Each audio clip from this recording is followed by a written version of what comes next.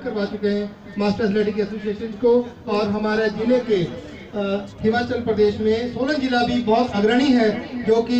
राष्ट्रीय प्रतियोगिताओं में भी यहाँ के खिलाड़ी मेडल जीतते रहे हैं और हिमाचल प्रदेश के सभी खिलाड़ी जो है, जैसे बताया गया कि पिछली राष्ट्रीय प्रतियोगिता में 35 खिलाड़ियों ने जो है, वो मेडल जीते हमारे बीच में master athletic federation of India के सम्मानित ट्रेजरार श्री आर के शर्मा जी पहुँचे हैं। मैं इनका भी तय दिल से स्वागत करता हूँ कि आज ये हमारी इस प्रतियोगिता को आशीर्वाद देने के लिए हमारे बीच पहुँचे हैं।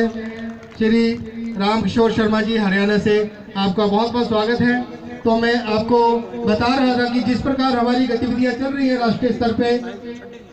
उन प्रतियोग अब हमारी कोशिश ये है कि हम हिमाचल प्रदेश को एक सम्मानपूर्वक स्थिति मास्टर मूवमेंट में दिलवाएँ। उसके लिए हमें हिमाचल प्रदेश सरकार का पूरा सहयोग मिल रहा है। पिछले दिनों जब हमने राष्ट्रीय प्रतियोगिता धर्मशाला के बीच में कराई तो माननीय मुख्यमंत्री महोदय ने आश्वासन भी दिया था कि हम हिमाचल प्रदेश में स्पोर्ट्स डिपार्टमेंट की ओर से भी और सभी की तरफ़ से मास्टर एथलेटिक एसोसिएशन को पूरा तरह से रिकॉग्नाइज भी करेंगे और जो भी आपकी मांगे हैं